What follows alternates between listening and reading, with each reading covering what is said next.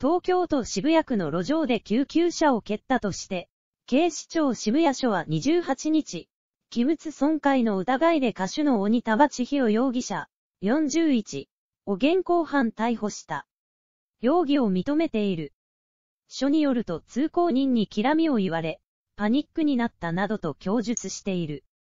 逮捕容疑は同日午後4時半頃、渋谷区闇住市1丁目の路上で、友人女性のために駆けつけた救急車の後部ドアを1回蹴り、車体を凹ませた疑い。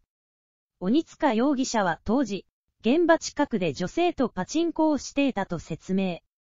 女性の体調が悪くなったため、救急車を呼んで乗せるところだった。消防から警視庁に通報があり、署員が現行犯逮捕した。救急車が凹んだため、女性は別の救急車で搬送された。修理費などを請求される可能性もありそうだ。事件現場は JR 恵比寿駅から100メートルほどで飲食店などが居並ぶ通り。近くにいた人はパトカーや救急車、消防車が止まって騒然としていたといい30代ぐらいの女性が道端にうずくまっていた。泥酔しているようにも見えた。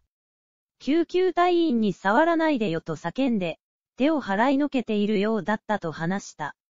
渋谷署で取り調べを受けた鬼塚容疑者は、午後10時50分頃に警察車両に乗って同署を出た。警視庁によると、病院に向かったという。薬物検査を受けるとみられる。ヒット曲月光で知られる鬼塚容疑者。11年発売の自伝的エッセイ付きの破片では、過去にマネジャーの車のフロントガラスを素足で蹴破ったと驚きの告白をしている。今回、その足で事件を起こしてしまった形。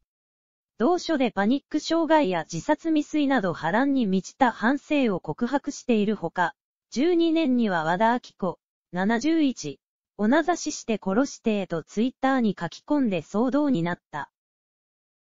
鬼田千尋、鬼塚、千尋、1980年、正午15、10月30日生まれ、宮崎県出身の41歳。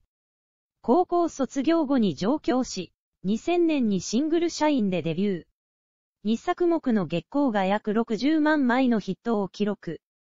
01年にめまいで日本レコード大賞作師賞。18年に、3年前に一般男性と結婚したことを公表。妹は舞踊家で女優の鬼塚桃子、31。